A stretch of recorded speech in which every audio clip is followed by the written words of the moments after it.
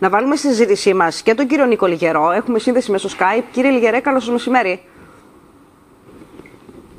Καλησπέρα, γιατί εδώ είναι 9 και 20. καλημέρα. Τότε. Όχι, το βράδυ. Α, το βράδυ. Καλησπέρα για εσά. Ναι. Λοιπόν, συγκεκριμένη ναι. ερώτηση, κύριε Λιγερέ, ε, σε ό,τι αφορά και εσάς. Ε, ε, και εσάς, τα κίνητρα της Τουρκίας. Γιατί το κάνει, Πρόκειται για κινήσεις εντυπωσιασμού, για να δείξει την ισχύ της, ή πρόκειται για προκλήσεις που έχουν στρατηγικό βάθος. Ναι, και γιατί δεν μου δίνετε τρίτη επιλογή; Μπορείτε να την πάρετε μόνος σας. Θα το κάνω. Έτσι κάνουμε στη στρατηγική όταν μας δίνουν δύο, παίρνουμε την τρίτη. Στην πραγματικότητα, γιατί δεν κάνουμε μια απλή ανάλυση από τις ναύτεξ; Η Τουρκία δήλωσε μια ναύτεξ, δεν έκανε τίποτα που παραβιάζει αυτό το γεγονός. Νομίζω ότι απλώς αυτό που έγινε είναι ότι δεν συνδυάσαμε το γεγονός που έγινε στο 6 και στο 3 στη συνέχεια. Θα έπρεπε να είχαμε βγάλει μια ανάπτυξη από πριν. Και αυτό που μπορώ να σας πω είναι ότι η Τουρκία θα δείτε ότι δικαιωματικά μπορεί να μείνει στην περιοχή μέχρι 22 του μηνός. Άρα το πρόβλημα ποιο είναι; Όταν εγώ ακούω ότι έχει βγει μια ανάπτυξη η οποία είναι παράνομη. Δεν υπάρχει ποτέ καμία ανάπτυξη που να είναι παράνομη. Όταν μετά ακούω ότι βγήκε αντινάφτεξ από την Κύπρο και αυτό δεν στέκει. Αυτό που έχει σημασία είναι ότι όταν υπάρχει μια περιοχή που έχει ναύτεξ, τι σεβόμαστε. Η Τουρκία πάνω και σέβεται όλες τις ναύτεξ που έχει βγάλει η Κύπρος. Ε, και πρέπει τώρα να τελειώσει η διαδικασία αυτής της ναύτεξ. Στην πραγματικότητα χρησιμοποιούν ακριβώς τον διεθνές κώδικα, έτσι ώστε γιατί δήλωσαν μια ναύτεξ υποτίθεται για ασκήσεις στρατιωτικές, έχουν δικαίωμα να το κάνουν και εμείς δεν το υπολογίσαμε αυτό και στείλαμε το γεωτρύπανο ενώ δεν έχει τελειώσει η ναύτευση. Και ρωτάω, γιατί να μην γίνει αυτή η ανάλυση που είναι πάρα πολύ απλή, αντί να, κάω, να ακούω διάφορα πράγματα που έχουν σχέση πραγματικά με προπαγάνδα της Τουρκίας που δεν έχει καμία σχέση με το παρόν.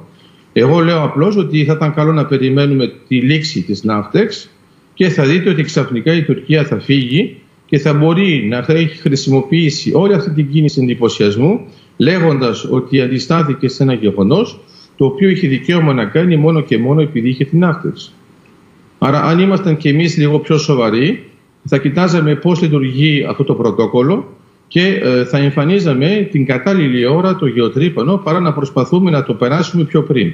Ε, ξέρετε κάτι, αν οι Ιταλοί δεν ήξεραν το γεγονός, δεν θα καθόταν στην περιοχή. Το πιο πιθανό είναι να καθίσουν στην περιοχή μέχρι να λήξει η ναύτεξ και να μπορούν να μπουν δικαιωματικά με τη νέα ανάπτυξη αυτή τη φορά της Κύπρου μέσω της Ιταλίας στην περιοχή. Θεωρείτε, κύριε Λιγερές; Κύριε, Λιγερέ, είναι εδώ μαζί μας και ο πολιτικός συντάκτης του σταθμού, ο Χρυσό Χαραλάμπος, που έχει το ρεπορτάζ επί καθημερινής βάσης. Ε, ναι, ναι, σας ακούω, ναι. Κύριε Λιγερέ, επειδή ε, από, από προχθές, όταν ξεκινήσει το περιστατικό, ακούμε από την κυβέρνηση ότι ουσιαστικά κάνει ε, ενέργειες σε διπλωματικό επίπεδο, έχει κινητοποιήσει την Ιταλία. Θεωρείτε ότι ε, δεν υπάρχει περίπτωση να υπάρξει οποιαδήποτε άλλη εξέλιξη πέραν από το να ολοκληρωθεί η οδηγία προς ναυτιλωμένους που εξέδωσε η Τουρκία και μετά να τρέξουν οι εξελίξεις. Δεν θα υπάρξει... Κοιτάξτε, είναι το, είναι το πιο φυσιολογικό. Δεν υπάρχει λόγος να υποχωρήσει πάνω σε αυτό το σημείο και νομίζω ότι οποιοδήποτε να είχε βγάλει μια ναύτεξ θα έκανε ακριβώς το ίδιο γιατί δεν έγινε με έναν παράνομο τρόπο. Άρα λέω για να είμαστε ξεκάθαροι και βέβαια είναι ένα θαλάσσιο οικόπεδο το οποίο είναι στην Κύπρο, δεν έχει καμία σχέση με τα κατεχόμενα Απλώς μπερδεύεται το λεξιλόγιο της Τουρκίας για να μπορεί να το χρησιμοποιήσει για λόγους προπαγάνδας, αλλά αυτό οφείλεται απλώς στο γεγονός ότι έβγαλε μια ναύτεξ. Άμα δεν είχε βγάλει μια ναύτεξ, δεν θα μπορούσε καν να καθίσει στην περιοχή. Κύριε και Λιγερέ, εάν ανανεώσει, αν βγάλει 22 του Φεβράρι λίγη αυτή η ναύτεξ ναι. και στις 23 βγάλει μια άλλη. Ε, έχουμε βγάλει, και βγάλει έχουμε βγάλει ναύτεξ εμείς. Όχι, όχι, προσέξτε. Έχουμε βγάλει ναύτεξ τώρα. Και κανονικά, ξέρετε, όταν βγάζουμε μια ναύτεξ, την κρατάμε για τουλάχιστον τέσσερις μήνες για τέτοια θέματα. Ε, έχετε απόλυτο δίκιο, θα μπορούσε τεχνικά να βγάλει τις ναύτες όποτε θέλει και έχει το δικαίωμα. Γι' αυτό εμείς κάθε φορά πρέπει να προβλέπουμε όταν κάνουμε μια γεώτρηση να γίνεται αυτή η νάξη. Ξέρετε, είχε συμβεί ήδη αυτό το θέμα για το θαλάσσιο οικόπεδο 2 και 3, ενώ εμείς ήμασταν στο 9. Άρα, για να είμαστε σοβαροί, για να μην δουλεύουμε για τους Τούρκους τζάμπα, πρέπει να κοιτάζουμε πότε βγαίνουν, πότε βγάζουμε εμείς και πότε πηγαίνει το γεωτρύπανο. Αλλιώς υπάρχει ένα κόστος.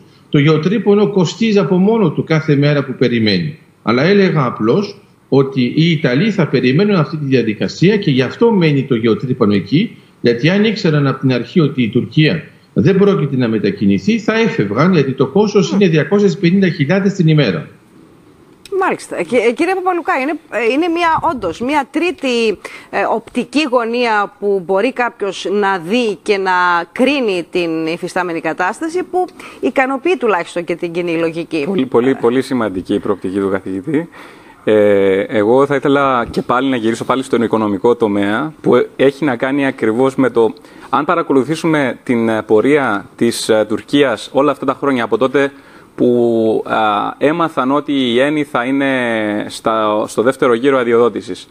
Ε, έχουμε το, τον πρώην Υπουργό Ενέργειας των Γιλτής, ο οποίος ε, έρχεται και απειλεί την ΕΝΗ με πρόσχημα ότι εάν εμπλακείτε ε, σε εξερευνήσεις στα, στην ΑΟΣ της Κύπρου, ε, θα, θα κάνουμε ε, suspend, θα αποκλείσουμε τα οικονομικά συμφέροντα της εταιρείας σας από την Τουρκία. Αν δούμε ποια είναι τα οικονομικά συμφέροντα, δηλαδή κυρώσεις που θα υποστεί τέλος πάντων η ΕΝΗ σε τέτοια περίπτωση, γιατί αυτό είναι που θέλω. Θέλω να φύγουμε από το επίπεδο των συνθημάτων και να δούμε πώς λειτουργούν τα οικονομικά συμφέροντα πίσω από τις εξελίξεις. Δηλαδή, η Ιταλία, η, η Ιταλική Ένη, το κύριο μέρος των δραστηριοτήτων της στην Ιταλία είναι η εμπορία φυσικού αερίου.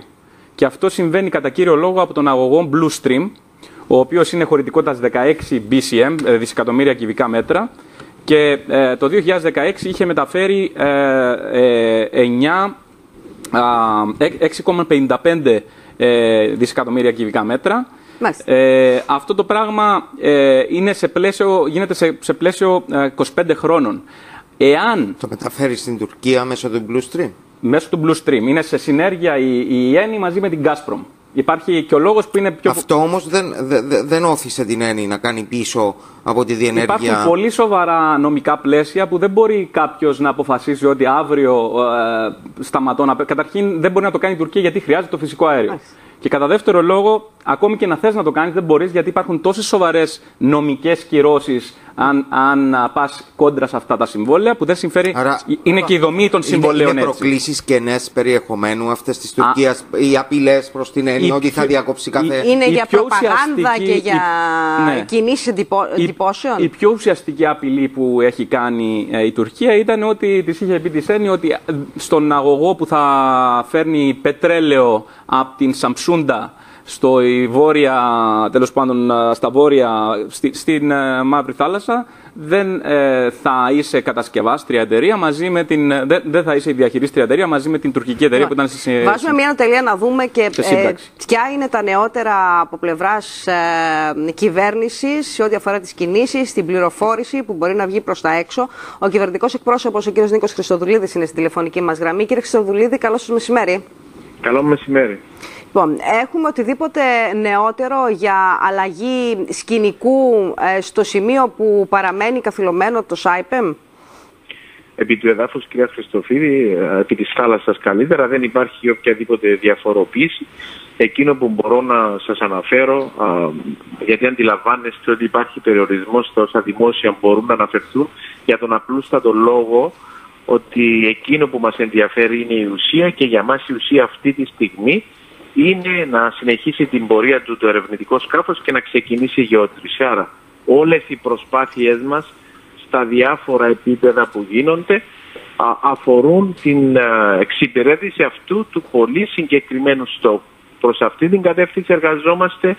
Αν θέλετε, αν μπορώ να το αναφέρω ως έτσι, χθες υπήρξε και μια έντονη, πιο έντονη αν θέλετε, ε, διπλωματική προσπάθεια σε όλα τα επίπεδα και να αναμένουμε να δούμε τις εξελίξεις στο αμέσως επόμενο διάστημα. Αναμένονται οι οποιασδήποτε εξελίξεις πριν από την 22 Φεβρουαρίου, οπότε και λίγοι ναύτες, ναύτεξ που είχε εκδώσει η Τουρκία, ρεαλιστικά.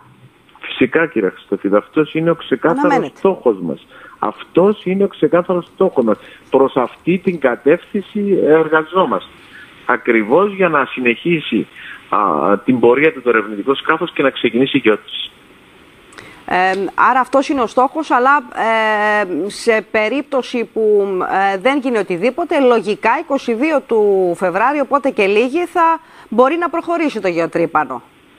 Αν δεν αποδώσουν οι διπλωματικές προσπάθειες για νωρίτερα. Θεωρώ ότι είναι νωρίς να μιλήσουμε σήμερα για την 22 Φεβρουαρίου και πώς θα εξελιχθούν τα, τα, τα πράγματα μέχρι τότε.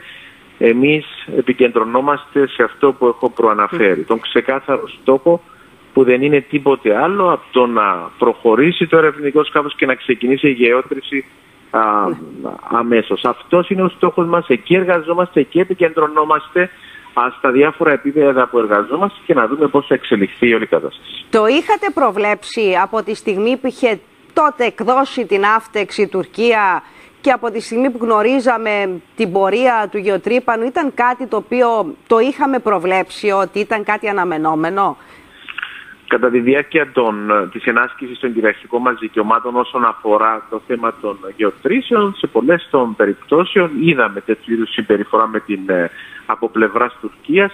Φυσικά και αναμένουμε πάντα από πλευράς Τουρκίας το οποιοδήποτε α, ενδεχόμενο, το οποιοδήποτε σενάριο.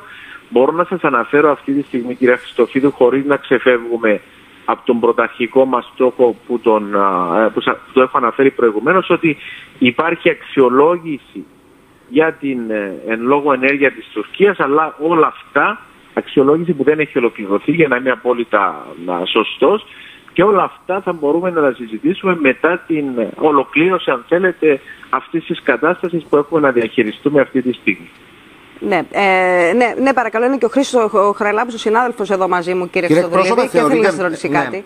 Ε, επειδή αντιλαμβάνομαι από τη ρητορική που χρησιμοποιείτε ως κυβέρνηση τις τελευταίες μέρες, θεωρείτε ότι είναι μια πρόκληση η οποία εμπίπτει στο ίδιο επίπεδο έντασης με τις προηγούμενες προκλήσεις, ή μπορούμε να πούμε, χωρίς να σπείρουμε βεβαίως πανικό, δεν λέω το αντίθετο, μπορούμε να πούμε ότι το πήρε και ένα βήμα παρακάτω αυτή τη φορά η Τουρκία. Δηλαδή, τουλάχιστον στον κόσμο, στον απλό κόσμο ο οποίος ανησυχεί και αντιλαμβάνεστε τους λόγους που ανησυχεί, θεωρούν ότι δεν είναι το ίδιο με αυτό που έγινε στο οικόπεδο 12 όταν ήταν η Νόμπολ που ε, τριγύριζαν ελικόπτερα από πάνω ή ε, με διάφορα άλλα που προσεγγίζουν χώρους γεωτρήσεων, φρεγάτες κλπ. χωρίς όμως να παρενοχλούν. Αυτή τη φορά έχουμε διακοπή τη ενάσκησης των κυριαρχικών μας δικαιωμάτων δεν είναι ένα βήμα παρακάτω.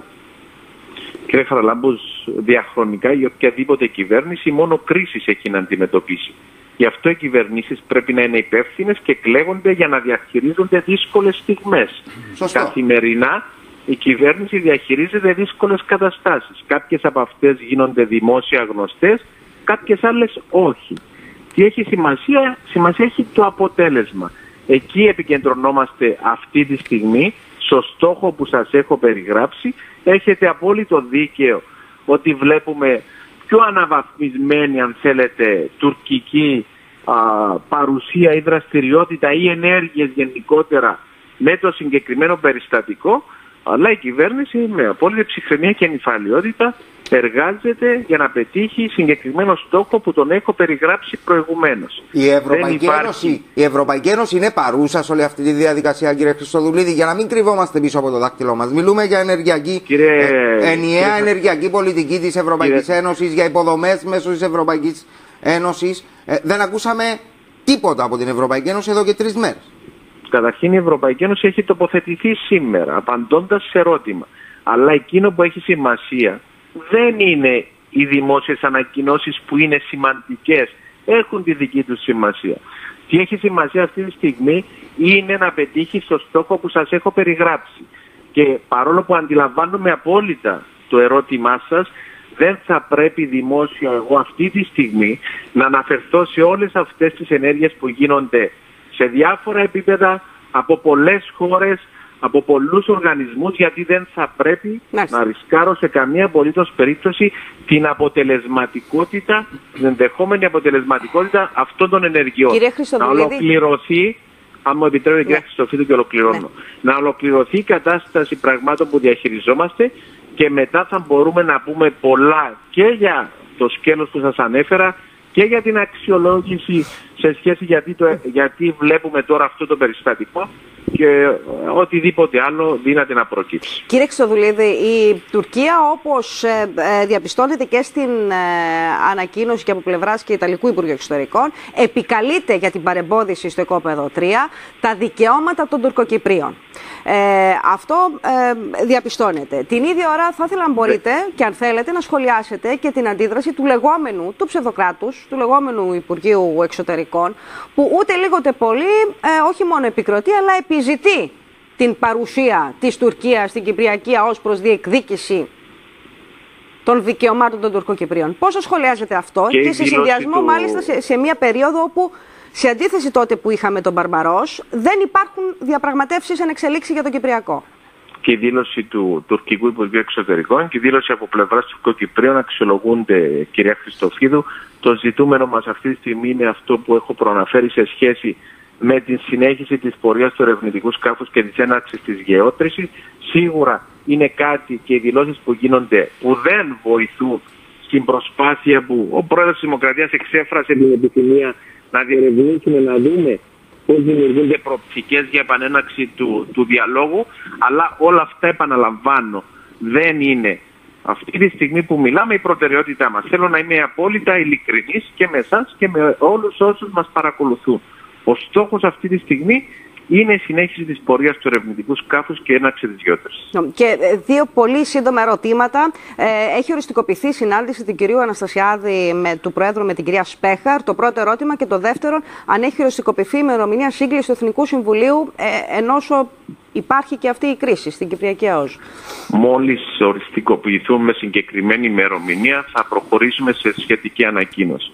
Εκτιμώ ότι η συνάντηση με την κυρία Σπέχαρ θα γίνει περί τα τέλη της εβδομάδας και ακολούθως και η σύγκληση του Εθνικού Συμβουλίου. Μάλιστα. Σας ευχαριστώ πάρα πολύ κύριε Χρυστοδουλίδη. Καλή συνέχεια. Ευχαριστούμε πάρα πολύ. Ε, επιτρέψτε μου να δώσω το λόγο γιατί στηρίχτηκα στο σενάριο που, ε, μάλλον στην εκτίμηση και στην ανάλυση του κυρίου Λιγερού και για τις ερωτήσεις προς το, τον ε, κύριο Χρυστοδουλίδη. το βλέπει ακριβώς αντίστροφα, ότι δεν δεν νομιμοποιείται ναι. η Τουρκία μέσω της Ναύτεξ που εξέδωσε. Γι' αυτό και η προσπάθεια, το δηλώνει ξεκάθαρα, είναι να λήξει πριν τι 22, πριν τις 22 ναι. Φεβρουαρίου. Ναι. Αυτός είναι ο στόχος, αυτή είναι η προτεραιότητα. Ε, κύριε Λιγερέ, ήσασταν μαζί μας όλη αυτή την ώρα και σας ευχαριστώ. Ε, γιατί έτσι έχουμε μια παραγωγική συζήτηση και ανάλυση. Θα ήθελα και την δική σας εκτίμηση. Μετά και Κοιτάξτε, εγώ σας είπα. Ναι, κοιτάξτε, δεν συνηθίζω να ακούω εκπροσώπους της κυβέρνησης ειδικά σε φάση κρίσης. Είναι λογικό να έχουμε μια ρητορική η οποία είναι πάντοτε πολύ απορμακρυσμένη από αυτό που γίνεται στην πραγματικότητα. Άρα εμείς στη στρατηγική το ακούμε και απλώς συνεχίζουμε. Ξαναλέω, τα πράγματα είναι απλά και δεν έχουμε μια φάση κρίσης. Ε, οι θέσεις της Τουρκίας σε σχέση με την έννοια είναι ξεκάθαρες και για να απαντήσω και στην παρέμβαση του Κωνσταντίνου, η οποία έχει νόημα, πρέπει όμως να καταλάβουμε ότι στην Ανατολική Μεσόγειο η Έννη παίζει με νέα μοντέλα, παίζει με την Αίγυπτο, αδιαφορεί για το κόστος που μπορεί να την προκαλέσει όσο αφορά την Τουρκία και ξέρει ότι η Τουρκία δεν θα παίξει στην Ανατολική Μεσόγειο. Άρα η Έννη δεν πρόκειται να πάει πίσω. Η Τουρκία δεν πρόκειται να πάει πίσω σε θέματα ναύτεξ, γιατί δεν έχει κάνει καμία παρανομία και απλώς όταν θα λήξει αυτό μια συγκεκριμένη ημερομηνία φαντάζομαι ότι θα χαμογελάσετε κι εσείς και θα καταλάβετε ότι ε, όλοι ξέρουν μέχρι πού θα πάει το παιχνίδι και απλώς πρέπει να δοθεί η εντύπωση ότι κάποιος παλεύει για να γίνει πιο πριν. Δεν υπάρχει yeah. κανένας λόγος να ανησυχούμε πάνω σε αυτό το θέμα γιατί ξέρουμε ακριβώς πώς θα λειτουργήσει και θα έχουμε μια κανονική γεώτρηση στη Σουπιά. Όταν μετά μου λένε ότι δεν είναι το ίδιο Γίνεται ακριβώς το ίδιο και για τις δύο ναύτεξ που είχε βγάλει η Τουρκία όταν τις είχε βγάλει και με τον Μπάρμπαρος και την πρώτη φορά και τη δεύτερη φορά δεν καταπάτησε καμία ναύτεξ. Εμείς δεν μπήκαμε σε ναύτεξ της Τουρκίας και η διαδικασία ολοκληρώθηκε όταν ήμασταν και οι δύο σε ξεκάθαρο πλαίσιο και είναι ακριβώς αυτό που θα γίνει και εδώ. Μάλιστα. Ε, ένα ναι, σχόλιο, Κωνσταντίνε. Ε, αγαπητέ Νίκο, είναι ε, το επιχείρημα αυτό που ανέλησα για την οικονομική πτυχή των σχέσεων μεταξύ κυβερνήσεων ε, και χωρών είναι για να μας παραδειγματίσει για το πώς μπορούμε εμείς να χρησιμοποιήσουμε τα οικονομικά μας συμφέροντα. Ναι, ναι, δεκτό, δεκτό, μα δεν διαφωνήσω ούτε καν με την ανάλυση Ήθελα πιο πολύ να δείξω ότι, δεν, ότι δεν υπάρχει και μεγάλο... Ναι, λέω, ε, ναι, δεν εγώ λέω απλώς ότι η, η Ιταλία και η Έννη έχουν ήδη αποφασίσει από κοινού Ποια είναι η πορεία τους. Η πορεία τους για κοινά συμφέροντα θα είναι με την Κύπρο και μπορεί να χτυπιέται όσο θέλει η Τουρκία. Θα συνεχίσει κανονικότατα γιατί τα ωφέλη, τα οικονομικά και τα συμφέροντα της Ιταλίας είναι τεράστια στην περιοχή και δεν έχουν καμία σχέση οικονομικά με οτιδήποτε μπορεί να κάνει ακόμα και με έναν αγωγό μέσω της Τουρκίας, διότι ξέρει θα αφήσει το μπαλάκι στους Ρώσους. Η Έννη θέλει να παίξει και στον αγωγό, θέλει να παίξει και στην Αίγυπτο, θέλει να συνδεθεί με τον Λίβανο,